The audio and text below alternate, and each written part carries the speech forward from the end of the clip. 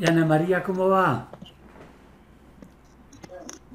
Hola a todos, hola Aurelio. Hola. Pues parece que estoy un poquito mejor. Eh, no me he podido incorporar a las reuniones estas vuestras porque he estado con una neumonía y, y bueno, lo he pasado bastante mal. Pero bueno, ya ha pasado. Te habíamos extrañado. Y ahora está mi hija, yo creo que es un virus, no sé lo que será, o son las radiaciones estas de los 5G, no lo sé, pero eh, yo que pasé el bichito, mm, no lo pasé tan mal como lo he pasado ahora. O sea, impresionante, impresionante. No sé qué será. Sí, no, pero pero bueno, el, el 5G no es. Esos son mitos. ya te digo que la sintomatología no tiene nada que ver. O sea, es horroroso. Mm, Yo notaba como que tenía los pulmones totalmente expandidos, pegados a mis costillas, pero no reaccionaban. O sea, yo quería respirar y, y no, no, no podía, no podía. Los tenía pegados. Así que la verdad que lo he pasado un poquito mal. Buenas Pero tardes bueno. con todos. Buenas a todos. Ah, Ana María, sí. Eh, Te, te veo diferente, Ana María, no te conocía. ¿Por qué me he cogido una coleta? Gloria, eh, Ya entré, pero no sé cómo salir de mi celular. de tu celular cuélgalo. Está también Federico, alemán, Ya, ya argentino, chileno. Juan Álvarez, Estela, ¿quién más? ¿Hay alguien de cabeza? Ah, tú estás de cabeza. Oh my God. Como- espérate, voy a. Como el mundo estoy. Vea, ya que la colgaron de cabeza, me hizo acordar de una persona que hace muchos años, en la época de Cristóbal Colón, tenía mucho miedo, mucho pánico, mucha ansiedad. Ya. Se llamaba Juan, se llamaba Juan. Imagínate, ¿cuál sería el miedo? Que un día colgaron a Juan de la Cosa.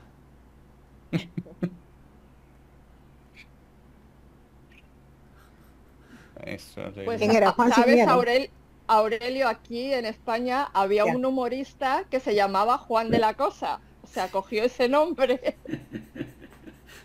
Hola, ok, voy a ponerlo un ratito para grabar. ¿Quién era Juan de la Cosa, maestro Aurelio? Me parece algo como de la conquista o algo así. Sí, era uno de los acompañantes de Colón, de Cristóbal Colón. Ah, ok. Pero en realidad él no lo colgaron. Esto es una broma debido a su apellido. Pero él sí estuvo aquí. Sí salió en los galeones. Buenas tardes. Estoy fuera de Lima, por eso es de que estoy conectándome. Sí, es que hay unos apellidos que uno no entiende. Carlos Cosío, ¿quién será Carlos Cosío? Mi familia. ¿Sí me escuchan? Sí, te estamos escuchando. Ok, ya Carlos estoy. Cosío es nuestro colega aquí en Medellín. No se le dice cosío, sino cosio acá. Aquí en Ah, Colombia es no Cosío. tiene Cosío. tilde. Claro, cada uno con ah, el mío es Cosío porque tiene tilde en la familia. En la Y, y el otro es de no sé, a mí me decían Pocío. Ok, ahora sí, empezamos a emitir todo. Muy buenas tardes, soy Gloria Cosío.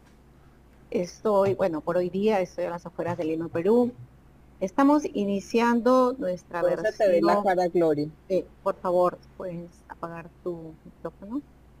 Perdón, Que no se te ve tu cara, Gloria. no se ve mi cara. Sí, fue que te saliste del cuadro. Ahora ah, ok, sí. ok, acá estoy. Es que estoy en, estoy en el campo, mire. ¿Ves? Pero te saliste del campo de la imagen. Qué bonito.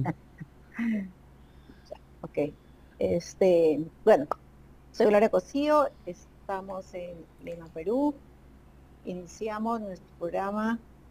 Hoy día tenemos un tema muy, muy, muy interesante, que son las- los miedos y las angustias y de qué manera la hipnosis puede colaborar para superarlos. Adelante, maestro. Bueno, pero es que yo tengo que decir algo que estoy sintiendo ahora con todos estos percances que ha habido para comenzar. Siento palpitaciones, sudoración, tengo temblores, la boca la tengo seca, tengo náuseas, mareos, tengo problemas digestivos, no sé si ese café me cayó mal. Tengo, siento una presión en el pecho, no sé si la tengo o la siento. Bueno, si la siento, lo mejor es pararle que se vaya. Y se me nubla la vista. Me provoca salir corriendo. Creo que me voy a morir. Estas son frases que los terapeutas escuchamos con relativa frecuencia. Y en realidad es correcto lo que esta persona dice de que se va a morir. Todos vamos a morir eventualmente, pero probablemente no será hoy, ya que lo que esta persona está sintiendo son síntomas completamente naturales de miedo o ansiedad. Algunas personas nerviosas y ansiosas interpretan erróneamente estos síntomas físicos y psicológicos como señales de que van a morir, cosa que sí va a ocurrir. Que les dará un infarto o que se desmayarán. Pero si esto sucede, pienso yo, sería más por autosugestión que por una causa física real. Aureli, ¿por qué lo sabe? Si fuera físico real ya se hubieran muerto, no me hubieran consultado tantas personas. Es psicológico. Pero es lo que vamos a mirar ahora. Las emociones positivas, como la alegría, el humor, el amor a la felicidad. Las negativas como el miedo, la ansiedad, la ira, la tristeza, el rechazo o la vergüenza. Las emociones ambiguas como la sorpresa, la esperanza, la compasión forman parte de la experiencia humana. Cuando sentimos miedo, nuestras glándulas suprarrenales, allá por el lado de los riñones, liberan la hormona adrenalina en la sangre y se excita el sistema nervioso simpático, que ya lo decía el otro día, de simpático no es que tenga mucho, porque nos hace sufrir, poniéndonos en un estado de alerta. La adrenalina hace que el corazón aumente su ritmo y fuerza de latidos para elevar la presión arterial y bombear más sangre al cerebro para pensar mejor qué hacer ante esa situación de miedo. En este estado, además de la aceleración cardíaca y respiratoria, se dilatan los bronquios para aspirar un volumen mayor de aire y lógico de oxígeno, lo que puede provocar una sensación de ahogo u opresión en el pecho.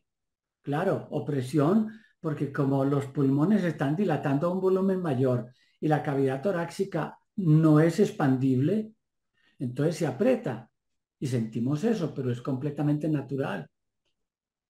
Las pupilas se dilatan para poder percibir más información visual del entorno, pero con menos agudeza como si se nublara la vista.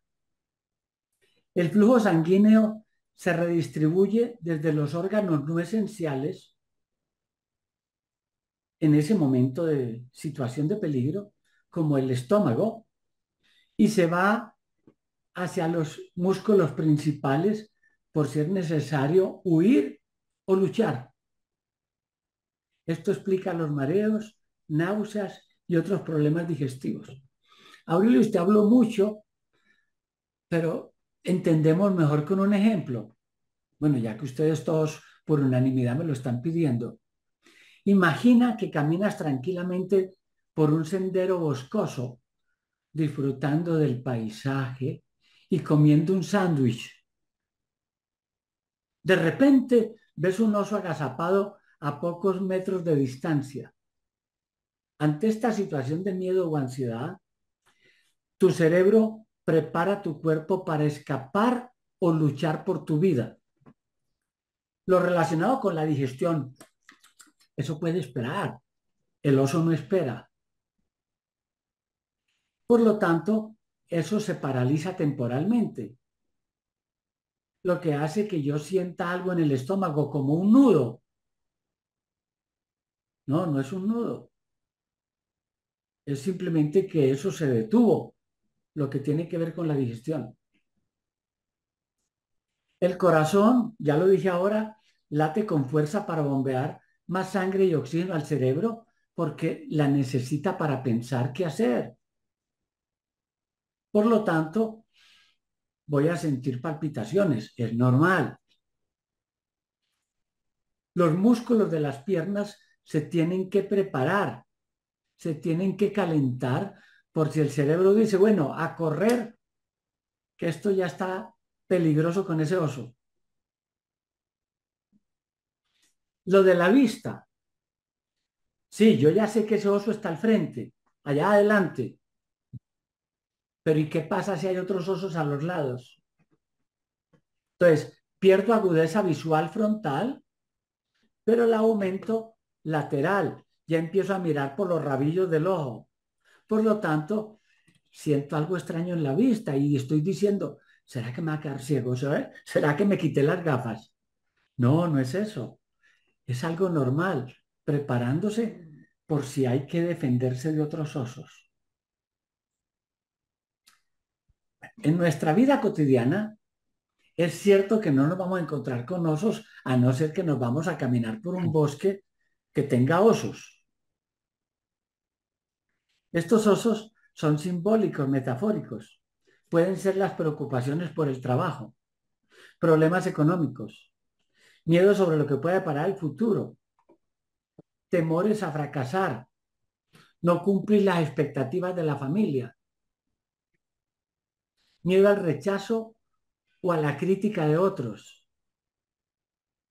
Todo eso son osos.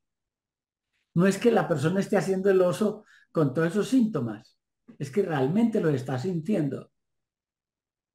Afortunadamente, una vez que la situación estresante pasa o el miedo se calma, y en este caso nosotros como terapeutas le vamos a ayudar con la hipnosis, luego lo diremos cómo, todos estos cambios fisiológicos se normalizan. ¿Y por qué se normalizan? Al cesar el miedo, también se suspende la inyección de adrenalina de las glándulas suprarrenales a la sangre. Por lo tanto, los efectos de la adrenalina ya no se van a sentir. Entonces, ¿qué es la ansiedad? La ansiedad es un miedo solapado, escondido, como el oso. Una respuesta emocional anticipada a situaciones de temor o amenaza, reales o imaginarias. Porque una vez que el cerebro se forma la imagen, él no entiende, no discierne, no distingue cuándo es realmente en tiempo real o cuándo es que lo armó con plenitud de detalles. Hizo la película. El cerebro responde igual a ambas situaciones. Además de síntomas físicos del miedo, que ya los he enunciado varias veces, la ansiedad suele ir acompañada de síntomas psicológicos y emocionales, como preocupación excesiva, dificultad de concentración, irritabilidad, inquietud, nerviosismo, pensamientos intrusivos o recurrentes.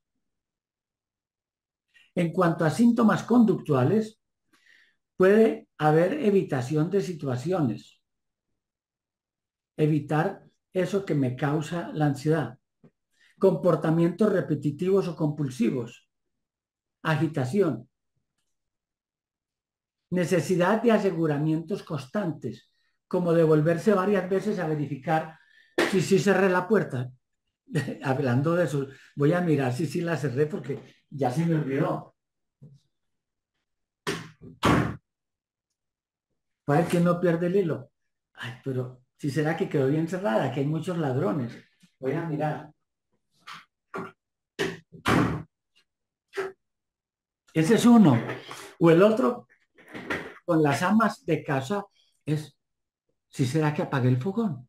No, yo me voy a devolver, de pronto lo había prendido. Llega, mira que no están las llamas y se va, pero apenas cierra la puerta. No, no, no. Yo tengo que mirar el botón si, si estén apagados. Eso es común. Común en las personas que sienten eso. porque si no lo sienten no es tan común. En el trastorno obsesivo compulsivo, identificado con las iniciales T o C, la persona desarrolla compulsiones o conductas ritualizadas destinadas a minimizar la ansiedad que le provocan ciertos pensamientos o situaciones. Por ejemplo, una persona con TOC podría sentir la necesidad compulsiva de lavarse las manos una y otra vez por miedo a la contaminación. Al primero que yo sepa que le sucedió eso fue a Pilatos. Acuerde que estaba en ese momento decidiendo la suerte de Jesús y le dio por irse a lavar las manos en semejante situación tan crítica. Otro. No. Algo malo le va a suceder a un ser querido si no toco la pared tres veces al pasar por el pasillo. Pero un momentico, yo toco la pared para que no le pase nada a mi familia. Todo esos son repeticiones que algunas personas sienten por la ansiedad. Ejemplo, Ana, una joven de 25 años, comparte su testimonio. Sufro de fobia social severa desde la adolescencia. Antes de salir de casa ya empiezo a sudar frío. Mi corazón late muy fuerte y siento que me ahogo. La idea de tener que hablar con extraños o ser el centro de atención me aterra. Pienso que todos me juzgarán y se reirán de mí. Esto es relativamente común. Pero cuando estoy sola en casa ya me siento bien. Claro, porque no siente que haya nadie que la juzgue, que la critique. Como vemos, estos miedos aparentemente irracionales, pero muy reales, pueden ser extremadamente limitantes. Otro ejemplo. Desde que tuve un ataque de pánico en el metro, me da muchísimo miedo viajar en transporte público. Siempre pienso que me voy a quedar encerrada, no voy a poder respirar y me voy a desmayar. Cuenta María de 32 años, quien desarrolló una fobia a los espacios cerrados luego de ese incidente. Afortunadamente fue en un metro. Imagínate, hubiera sido en un kilómetro. Afortunadamente, tanto los miedos y ansiedades excesivas como los trastornos de ansiedad pueden tratarse de manera muy efectiva con diferentes técnicas terapéuticas. La terapia cognitivo-conductual, por ejemplo, ayuda a identificar y modificar los patrones distorsionados de pensamiento. También, mediante la exposición gradual a las situaciones temidas, en un ambiente seguro, las personas pueden desensibilizarse y aprender a manejar sus reacciones. Pero estos son otras técnicas, otros métodos. Ahora nos vamos a concentrar al final en la hipnosis, que es el tema que nos ocupa. En casos severos, puede ser necesaria una intervención ya farmacológica para neutralizar los efectos de la adrenalina, con medicamentos ansiolíticos o antidepresivos para regular los desequilibrios químicos subyacentes.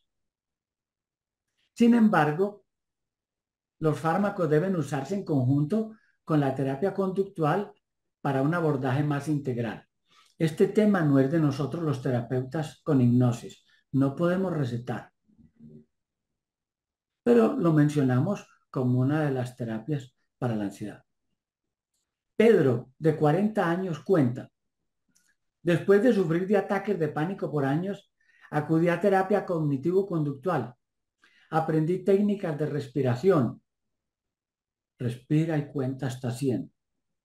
Relajación muscular reestructuración cognitiva. Ahora puedo manejar mis miedos y la ansiedad. Ya no controlan mi vida. Es un alivio enorme. Tampoco es algo que nos incumbe a nosotros, pero sepamos que existe. Otro término. Deje de ser paranoico. Relájese. ¿De dónde viene eso? ¿Qué tiene que ver con la ansiedad? El término paranoia proviene del griego paranoia, que significa mente desviada o mente fuera de razón. Ser paranoico se refiere a una condición mental caracterizada por desconfianza e ideas delirantes de persecución o amenaza injustificadas. También es relativamente común. No, es que en el trabajo me la tienen montada. Es que esa persona me montó la persecutoria.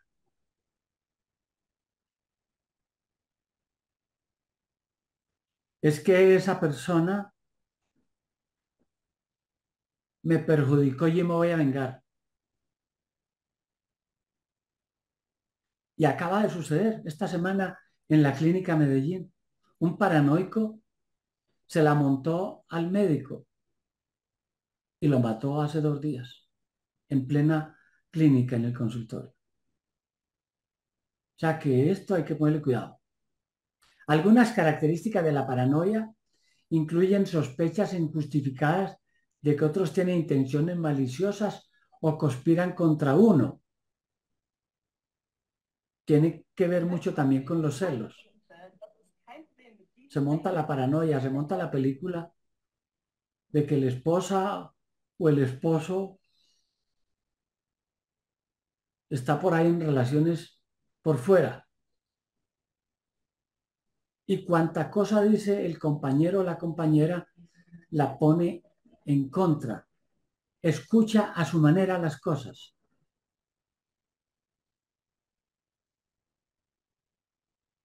Hay tendencia a relacionar eventos revelantes o fortuitos con una supuesta conspiración. También vimos ahora efectos paranoicos cuando la pandemia. ¿Cuánta paranoia no vimos en nuevos mensajes de Internet? En nuevos mensajes de WhatsApp. La famosa conspiración. Otra paranoia. Los rastros de vapor de agua que se forman por el calor de las turbinas de los aviones cuando las condiciones de presión atmosférica y contaminantes de la gasolina, eso hay que reconocerlo, forman condensaciones. Entonces algunos paranoicos piensan que es que nos están irrigando con químicos para controlarnos. En ese sentido no hay tal, pero sí hay que reconocer que es contaminación. La paranoia puede variar en intensidad desde leve hasta severa. En casos graves puede ser un síntoma de trastornos mentales como el trastorno delirante, la esquizofrenia u otros trastornos psíquicos. No, es que ese cuadro que tengo en la pared me habla. Ese cuadro me está vigilando, me está espiando. No. Esa imagen que yo monté aquí, que yo puse, no, ese espejo lo voy a romper. Y rompen el espejo porque piensan que lo está espiando. Y me tocó ver un caso real. Me tocó ver romper el espejo. Entonces, es cierto que los medicamentos pueden ayudar a controlar estos síntomas, pero simplemente controlan los síntomas. No alivian. Entonces, ahora sí, ¿qué podemos hacer nosotros con la terapia hipnótica? Se puede tomar esto como una herramienta para ayudarle a la persona a tomar conciencia de lo que le acontece. Que encuentre los osos que le causaban los miedos con una terapia regresiva. Y ayudarle a enfrentar cada suceso desde otra perspectiva, desde otro punto de vista. O sea, empoderarla, mostrarle que a veces lo que parece oscuro es claro según del lado de la pared que esté el sol, según si la persona está contra luz o no. Un ejemplo. ¿Ustedes qué piensan? ¿Qué animal grande tiene dos cuernos y cuando empieza a correr se quita uno? El toro. Sí, yo sé que muchos estaban pensando que qué animal se quita dos cuernos. Yo no dije eso. Yo dije que animal tiene dos cuernos y cuando empieza a correr se quita uno. O sea, yo. Ese es un ejemplo de una mala interpretación que puede formar o causar ansiedad. Otro ejemplo, es Halloween. Me disfracé de sirena. ¿Ustedes cómo piensan que es mi disfraz? Algunos me han descrito con cola de pescado, escamas, un par de conchas en los pechos. Mm, Algunos me han colocado aquí otra cosa en la cabeza. Y no, están equivocados. Usted me armó una película donde mis amigos sepan ese chisme de que me vieron disfrazado de sirena marítima. Me expulsan del grupo. Es cierto que me disfracé de sirena. Yo salía por la calle gritando, ¡Wow! ¡Wow! Abran paso que soy una ambulancia. ¿Se dan cuenta? Otra mala interpretación. Desde otro punto de vista. Vámonos con un tercero. ¿Qué opinan ustedes de un hombre que a las dos de la madrugada lo ven entrar con una mujer casada a un motel, a un hotel de paso, a un hotel transitorio? ¿Qué opinan? Ah, no, que está haciendo muy mal. A ese hombre hay que colgarlo de la cosa. No, no está haciendo mal. Es el esposo. Y le dijo, vamos a tener una aventura a ver qué se siente en un motel. ¿Se dan cuenta? Entonces, nosotros con la hipnosis le vamos a ayudar a que comprenda, que entienda, que cambie de actitud, que mire las cosas desde otro ángulo. Y le vamos a ayudar a encontrar el origen, la causa de los miedos, o sea, de los osos. Ahora sí, abrimos para el debate. Muy interesante. Bueno, se dice de que hay dos emociones que controlan el mundo o controlan a la humanidad. Uno de ellos el miedo y el otro el amor. Tienen mucho poder. El miedo detiene a las personas y principalmente, como dijo el maestro, o sea, es miedo a lo desconocido. Nosotros por intermedio de la hipnosis le mostramos una ruta en la cual ya el paciente pudiera confiar. ¿Cierto, maestro?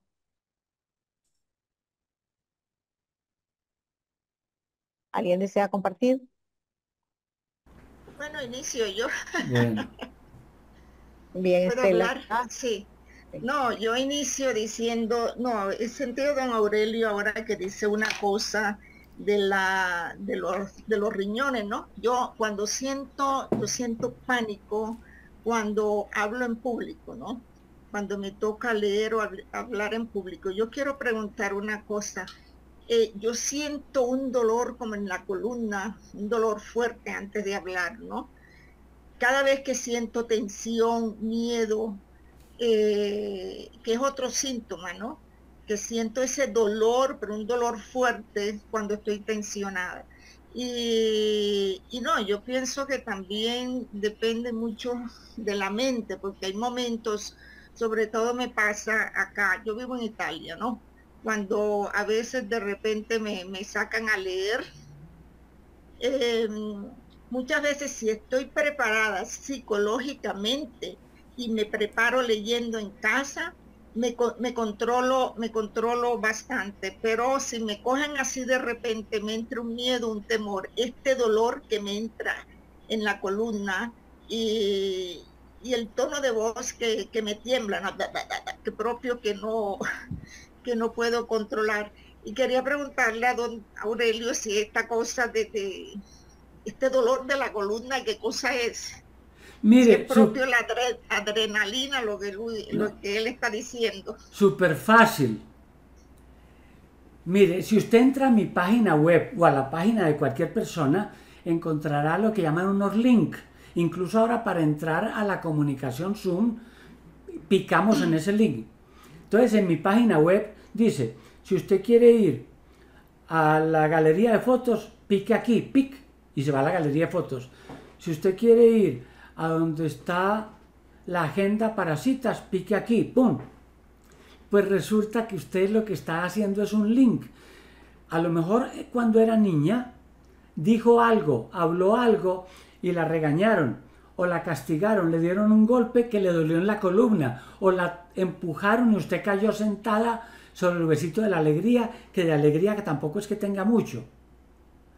Y quedó la página y ahora, 20 años después, cuando hay una situación asociada con eso, usted hace link, hace enlace y la lleva a ese momento y revive el dolor.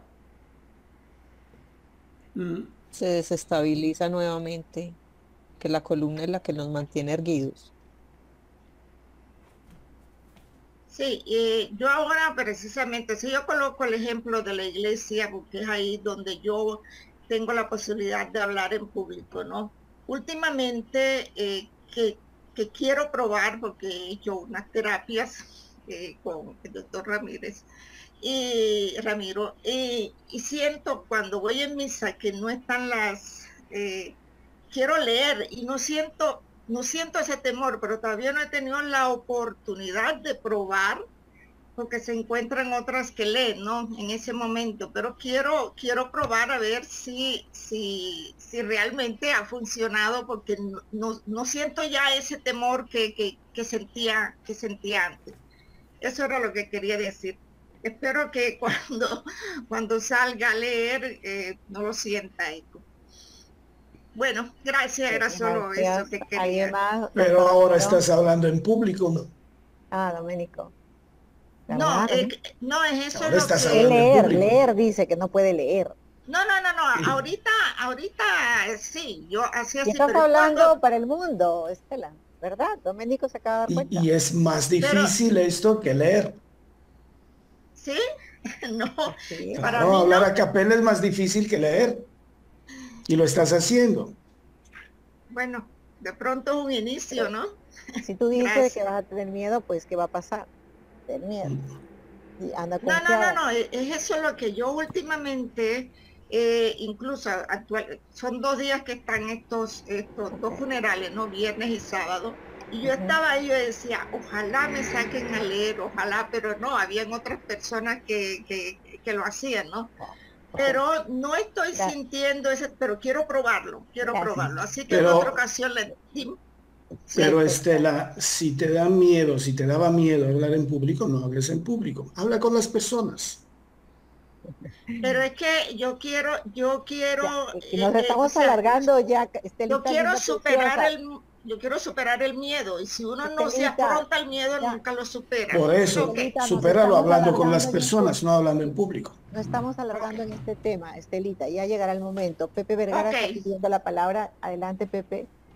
Bueno, gracias. Es que yo aprendí que había dos miedos muy importantes. El primero, el miedo a la muerte, y el segundo, miedo a hablar en público. Y obviamente hay, hay grupos, yo aconsejo, en todo el mundo que se llaman Toastmasters. Y si te unes a ese grupo, empiezas a perder el miedo. Uno de los consejos que dan los Toastmasters es que cuando tú te pares allá, a todos nos da, nos da nos da mariposas en el estómago, nos quedamos fríos, tú no empieces a hablar enseguida, mira alrededor e imagínate que todos están desnudos. Entonces, a raíz de eso, me pasó un caso muy importante. Yo llegué hace 40 años a California y cuando tenía como dos años de estar aquí, me tocó hacer una presentación en público en inglés para terminar de rematar, pero fue en la Marina de Estados Unidos y estaba un panel de había 20 personas y me tocó hablar y yo me subí allí y los miré todos y me lo imaginé en pelotas y me sonreí. A lo que me sonreí se desapareció ese miedo completamente y empecé a hablar y terminé, bueno, lo importante es que me fue bien en esa presentación.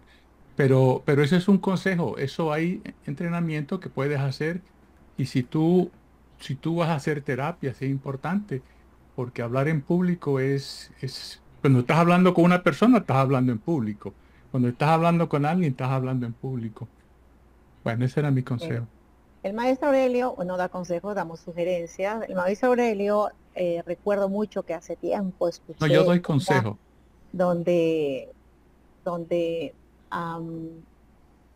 decía, imagínate que hay un auditorio donde hay esca- es- calaveras.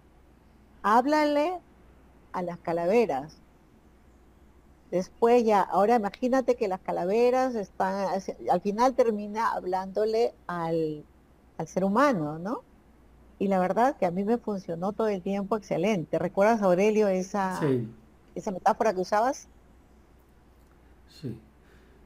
Sí, incluso llegó a mi consulta un músico violinista de, ¿cómo se dice? De conciertos, de la orquesta de, conciertos de música clásica. Sinfónica, de la, sinfónica. de aquí en Medellín, porque tenía pánico porque venía a una presentación especial un director internacional, muy reconocido, y a él le iba a tocar hacer un solo de violín largo. Entonces él se imaginaba todo ese público, el director internacional reconocido, y llegó a mi consulta con el violín. Y yo viendo que llegó con el violín, le dije, ¿y usted es capaz de tocar sin partitura? Y yo, a mí me gusta Hacha Haifes, a mí me gusta Paganini, a mí me gusta Vivaldi, eh, Vivaldi. Usted podría tocar algo de las cuatro estaciones. O usted podría eh, tocar uno de los caprichos de Paganini. Sí, claro, y empezó ahí emocionado a tocar, sin partitura.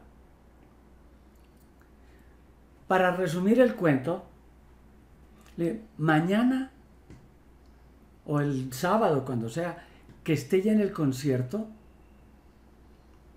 yo voy a ir, usted me va a invitar y yo voy a estar allá. Y usted va a tocar para usted.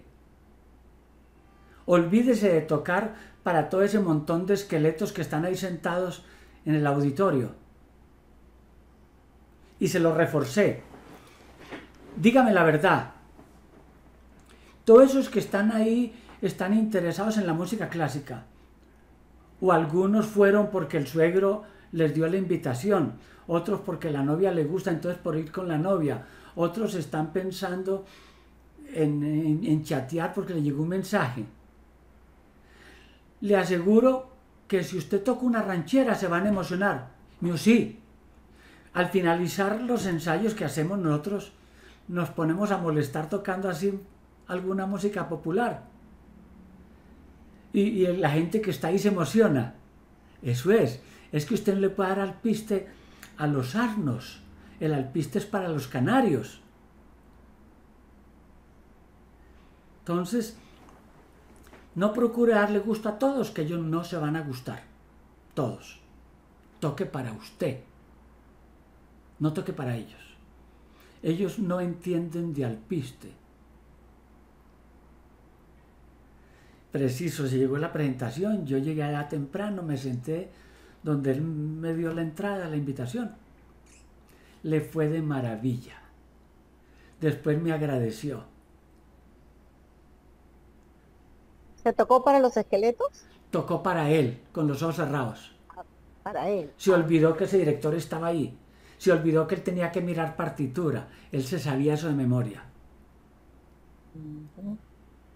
Porque lo de los esqueletos también funciona. Me ha, funcionado, sí, me ha funcionado muchísimo, muchísimo lo de los esqueletos. Este, bueno, ¿alguien desea compartir? Doctor Ramiro. Tengo apagado el micrófono. Buenas noches. Primero que todo, Estela, me alegra mucho que ya tenga ganas de, que te pongan a leer. Antes no las tenías. Así que eso tiene buena pinta a ver si, si ha sucedido tu milagro. Eh, el miedo es un componente con una experiencia emocional. Por lo tanto, pues no tiene una presencia física. No es un resultado en este, en este plano y nosotros eh, con esa etiología emocional y con todo el proceso que se genera a nivel de, nuestro cerebro, cerebelo, nuestro sistema nervioso, pues lo convertimos en un resultado. ¿Qué resultado queremos obtener cuando permitimos que las emociones nos controlen? Entonces, cuando nos dejamos llevar por la emoción, por lo que llamamos miedo, eh, ¿qué resultado quieres, quieres tener? ¿Quieres salir huyendo? ¿Quieres enfrentar tu realidad o quieres quedarte totalmente eh, en un estado catatónico? Entonces, en ese momento, el cerebro, nuestro cerebro decide y eh, todo el proceso hormonal comienza a direccionarse en, una dirección o en varias direcciones. Y generalmente en este plano, en esta 3D, lo direccionamos en el plano horizontal catastrófico. Entonces, por lo tanto, salimos huyendo. A veces salimos huyendo de, de la nada, de nosotros mismos, y terminamos en un estado de confusión, en un estado donde toda una serie de hormonas y de impulsos eléctricos y piezoeléctricos que suceden en nuestro cerebro, en la pía madre, en la dura madre, nos eh, establecen un estado de dolencia en cualquier parte de nuestro cuerpo. Lo llevamos, lo reflejamos esa parte de nuestro cuerpo. Algunas personas se quedan mudas, otras no pueden caminar, no pueden correr, no se pueden mover. Otras simplemente, como le pasaba, digo le pasaba, porque creo que ya no le va a pasar más, le pasaba a Estela, tiene un dolor en una parte específica del cuerpo, ¿no? Entonces se generan esos bloqueos y esos bloqueos simplemente eh, aparecen porque el ser humano no está acostumbrado a generar resultados mágicos. No hay el objeto. No aparece nada frente a ti que te dé ese miedo como un campo eh, atómico que, eh, al cual tienes que enfrentarte, un objeto de peligro. Y ahí aparece y ahí se desencadena esa etiología del miedo. Y sin embargo, eh, todos la utilizamos. No es un resultado en sí es algo intangible, es algo de lo que no debería salir huyendo. Es más, el otro día me encontré con un oso. ¿Qué hacemos cuando nos encontramos con un oso? Si es perezoso, dejarlo que siga durmiendo. Muy bien. Y si no es perezoso, ¿qué tenemos que hacer? Me hago la muertita. Salir corriendo. No. Eh, Gloria ha dicho, me hago la muertita, me quedo totalmente quieto. No respiro. El oso me mira, me da la vuelta y se marcha. Y él no come carne congelada. él no come carne, él no come carne estresada, él no come carne de baja frecuencia. Porque cuando entramos en un estado de pánico, bajamos nuestra frecuencia. Por lo tanto, no podemos, ese es el resultado, no podemos manifestar y materializar el miedo. Así que tontos somos todos los humanos porque no, no debemos tener, no debemos de sentir el miedo y no debemos de, de generar toda esa respuesta nerviosa y toda esa inquietud y esa tensión. ¿O alguno de vosotros ha podido materializar el miedo? ¿Quién ha materializado el miedo? Nadie. Por lo tanto, podemos decir que en el mundo de los resultados el miedo no existe.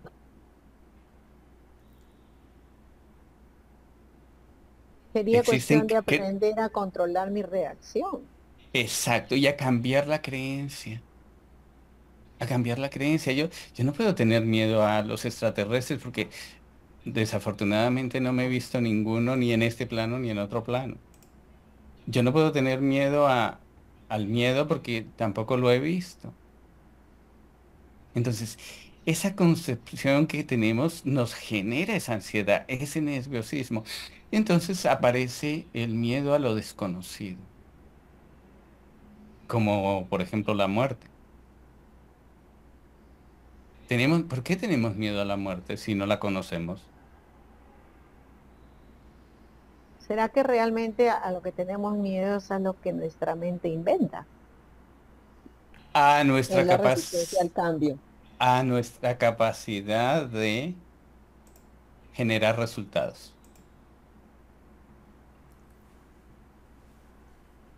Pero con el miedo no generamos ningún resultado. Eh, Gloria decía que con el amor es la otra, el otro, el otro componente que es muy importante. ¿Con el amor podemos generar resultados? Claro, porque tenemos confianza. Porque tenemos confianza. ¿Y cuáles son los resultados de nuestro amor? Bueno, del nuestro.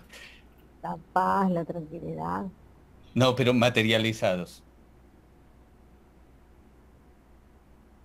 Bueno, el desestrés, ¿no? estar en serenidad. Por ejemplo, nuestros hijos a veces son resultado, algunos son resultados del, amor. ¿Qué más? ¿Qué, más es resultado del amor? Los abrazos, el cariño, ¿qué más podemos materializar con el amor? En cambio, con el miedo no podemos materializar más que generar incidentes o problemas de decoherencia de nuestro sistema límbico y nuestro sistema neuronal. Así que una de las cosas que debemos hacer es comenzar a deshacernos de algo que no existe. Y comenzar a llamar las cosas por su nombre. No existe, pero nosotros lo creamos. Exacto, pero no lo podemos materializar. Por eso luego lo somatizamos en nuestro cuerpo, pero no lo podemos materializar frente a nosotros. Y entonces lo somatizamos en nuestro cuerpo. Qué tontería, ¿no? Hacer que me duela el pie, la columna, eh, el oído. Yo tenía una persona que entraba, eh, tenía, tenía un paciente que te decía, es que tengo miedo, y entonces se quedaba sordo. Dos días, tres días, y luego ya comenzaba nuevamente a oír como decía el maestro, ¿qué le pasó a este niño? ¿Qué le pasó a este, este niño cuando era niño, a, este, esta persona cuando era niña? Que se quedaba sordo por el miedo. Materializaba el miedo sobre su cuerpo, o sea, lo somatizaba. Aquí, aquí es donde entra la hipnosis. Somatizamos el miedo en nuestro cuerpo. Ya está. es lo máximo que podemos hacer. Acá te están preguntando si podemos dejar de sentir miedo o es mejor sentirlo y observar en dónde lo sentimos sin juzgar. Yo creo que esa técnica ustedes como psicólogos lo utilizan para el pánico, ¿no? Saber dónde estás, hacerte amigo o algo por el estilo, ¿funciona así? Sí. Podemos hacernos amigos del miedo si, si nos hacemos amigos del miedo desaparece. Eh, dejamos de somatizar dejamos de sentir y de sentir esos típicos bloqueos que se generan en el campo biológico y psicológico. Por lo tanto, tenemos que comenzar a crear el paradigma del no miedo. Es cuestión de paradigma, es cuestión de creencia. En Francia hay una, mm, una granja, eh, eh, bueno, la traducción sería como una granja, como es como una comunidad más bien, donde está prohibido sentir miedo. Llevan 27, años, 27 años experimentando estar alejados de esa sensación, de ese sentimiento y de no a la somatización al miedo. Y el estudio eh, demuestra que se puede vivir sin miedo y que si vives sin miedo, eh, tu frecuencia es distinta y te alejas 100% de la línea catastrófica. No sé si me hice entender. Si tienen alguna pregunta. ¿Hay alguna técnica que tú pudieras facilitarnos para, aprender a controlar nuestros pensamientos? No, primero que todo, pues el miedo no existe, no tiene un campo material no es un objeto, no, no lo podemos materializar, por lo tanto no existe. Está bien, pero yo lo en este plano. a la hora de ponerme a pensar en lo que me puede pasar y que esto que lo otro, yo lo estoy creando. Estás intentando, estás, estás intentando materializar, pero tú sabes que cuando intentamos materializar, ¿qué pasa con la palabra intentar? Pues es un fracaso. O sea, cuando intentamos materializar y no podemos, siempre fracasamos. Entonces, eso sería como el componente básico de intentar materializar en este campo el miedo como un objeto, como algo tangible. Entonces es tomar esa conciencia de que no existe. No tengo por qué tener miedo. Tengo, por, tengo que tener respeto por, eso sí. Ah, Respeto cambiar por... el nombre entonces. Mm, Bueno, si eso sería cambiar el nombre, un- el nombre puede ser, pero tengo que tener el respeto por las cosas. Pero si yo me voy a ir a un barrio en el cual sé que hay mucha delincuencia, sería de mi parte, creo, demasiado arriesgado pues, no tener miedo, ¿no? Obviamente no Ujú. voy, pero este, eso es algo instintivo. Gloria, yo pienso que el miedo es una respuesta netamente humana y adaptativa en ese caso que estás diciendo. Sí, Y yo considero a nivel personal que el miedo no es ni bueno ni malo, de acuerdo a las creencias que tengamos. ¿eh? Eso lo dijo Y- el maestro. Sí, y eh, yo quería complementar como algunas cositas de tipo teórica que ahorita la carrera eh, pude resumir. Em, y es lo siguiente, mm, o sea, el miedo se le llama de distintas maneras, eh, zozobra, angustia, temor, pánico, terror, bueno. Em, y esos son grados de miedo, ¿sí? Y nos está hablando básicamente de un retroceso ante un peligro. Eh, el miedo, pues, a nivel psicológico se constituye como una respuesta netamente humana, de tipo emocional, basada en una intensa sensación desagradable provocada por la percepción de un peligro, sea real o imaginario o supuesto, sea presente o futuro o pasado. O sea, eh, el miedo nos hace ir a los tres tiempos, ¿sí? Eh, pasado, presente o futuro y es una emoción primaria que deriva de la aversión natural al riesgo o a la amenaza que incluye eh, el ser humano. Y la, la máxima expresión del miedo es el terror. Y el miedo, eh, yo pienso que eh, uno ante el miedo tiene dos respuestas, o enfrenta el miedo o lo evita, o sale de ahí corriendo, volado, ¿sí? Bueno, otra de las cosas, el miedo, hay, algunas personas, algunos teóricos que para, para ellos es una emoción, para otros es un sentimiento.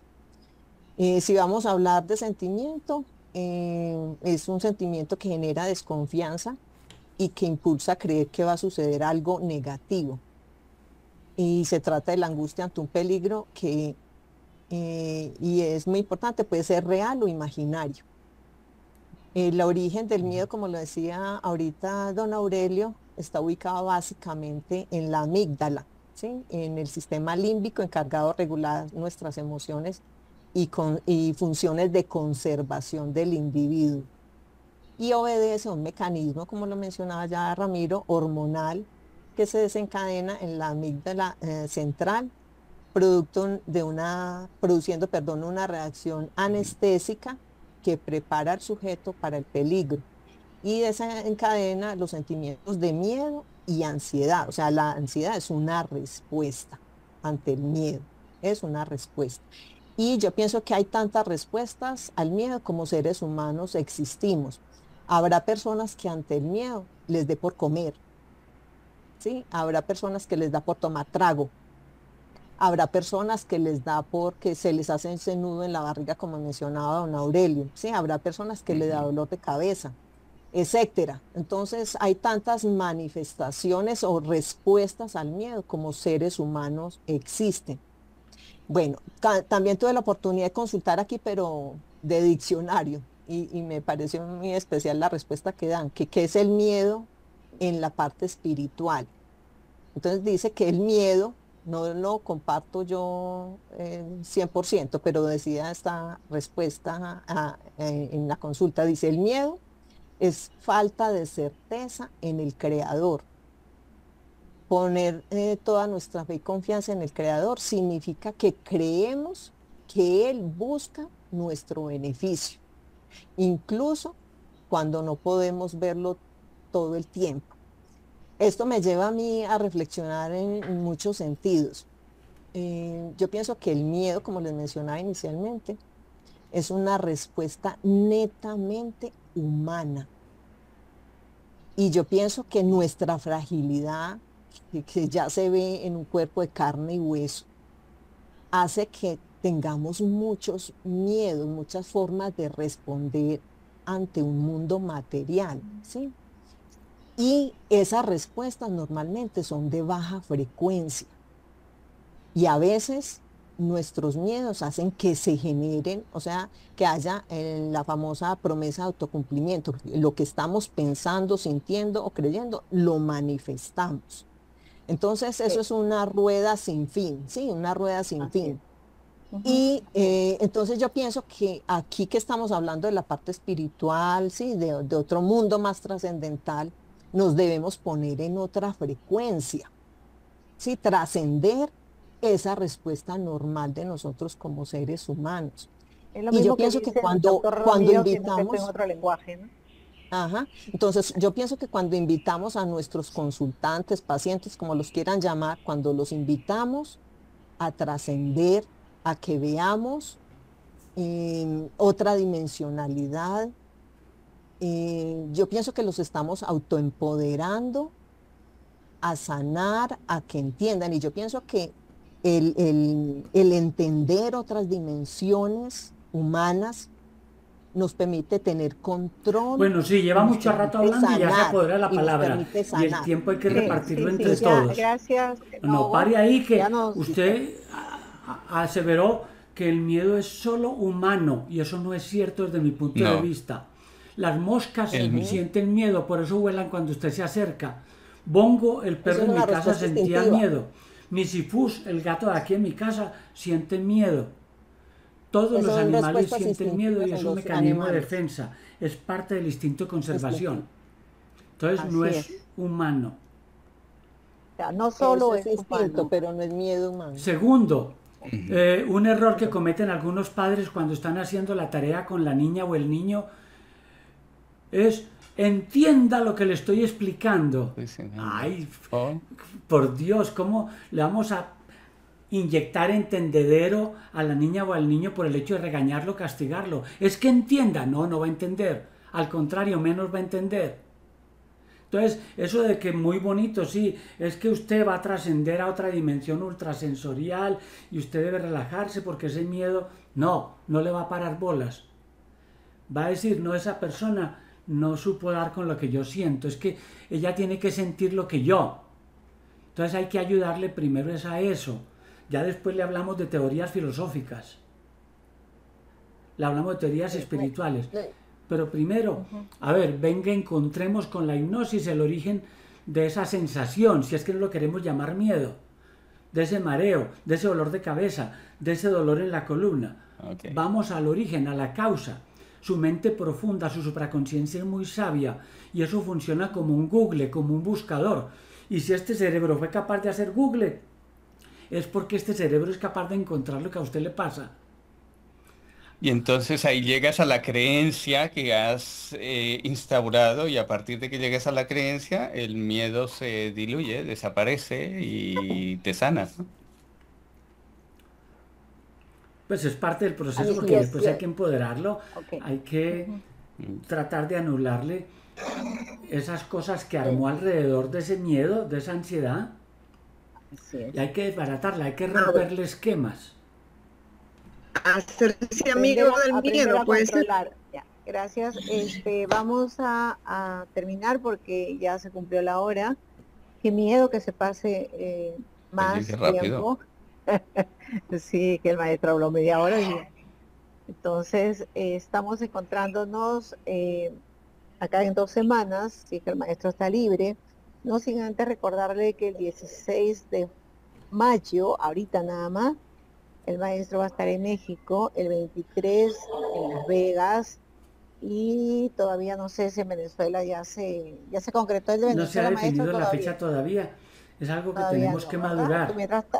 claro, entonces acá tenemos para el 20 de septiembre Perú. Toda la información la encuentran en la página. de que viene la fecha www.aureliomejía.com. En junio en, Alemania. Ah, en Alemania. Es que ahora lo estoy sacando de otro lado, pues que estoy fuera de la fuera de Lima y, no tengo mi notita.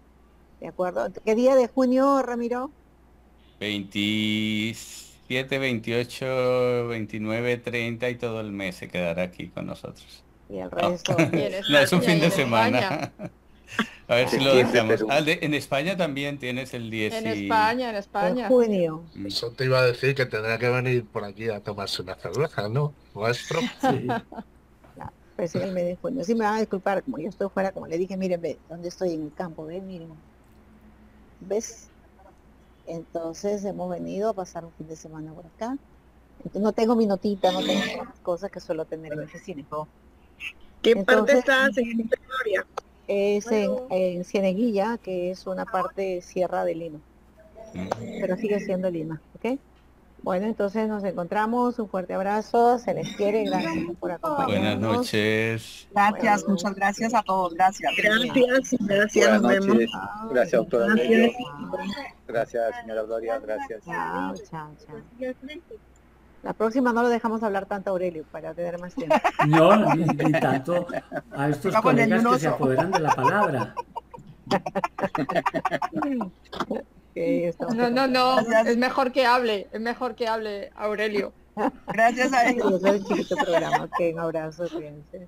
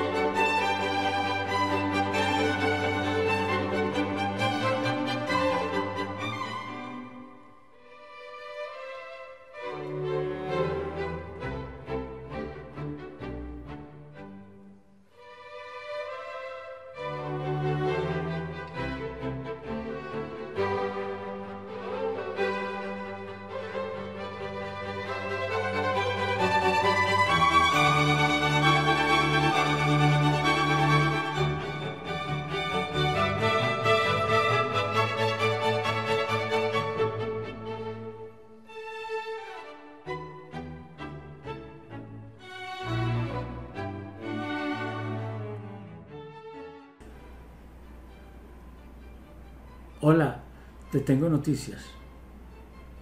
Pero no se lo digas a mucha gente porque los cupos son limitados.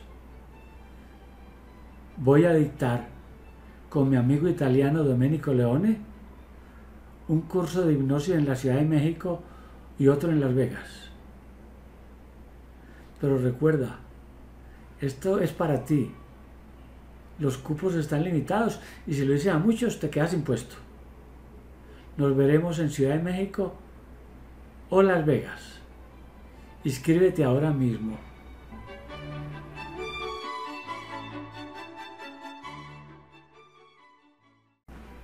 Hola, te tengo buenas noticias. Estamos a punto de comenzar otro curso de hipnosis introspectiva. Es la oportunidad que estabas esperando para descubrir poderes inexplorados de la mente. Es la oportunidad que estabas esperando para ser todo un experto en terapia regresiva. Es la oportunidad que estabas esperando para ayudar a otros a sanar. Te entregaremos en el curso, además de nuestro libro, que es muy completo, una memoria con mucha información cerca de 30 gigas en archivos de audio y video. Ello te convertirá en un gran experto. Aprovecha ahora mismo esta oportunidad. Cupos limitados. Inscríbete ya.